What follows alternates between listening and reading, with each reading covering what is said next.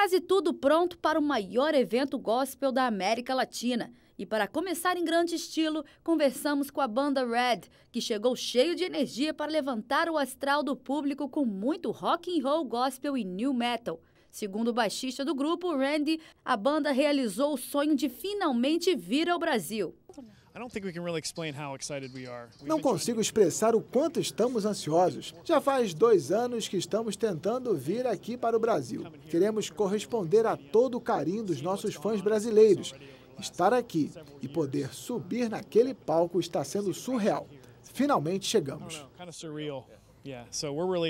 Formado nos Estados Unidos em 2004, em Nashville, Tennessee, a banda Red, que vem da palavra redenção, nasceu com um estilo alternativo. Com mais de 2 mil shows realizados e conhecido por ser uma banda dinâmica, as canções do quarteto não contêm referências à religião, mas o tema espiritual nas letras atraiu o público cristão.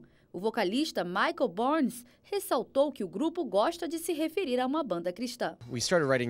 Queríamos que nossa música fosse para todos. Não mencionamos nenhuma religião, mas nossa música possui um tema espiritual que trouxe muitos fãs cristãos.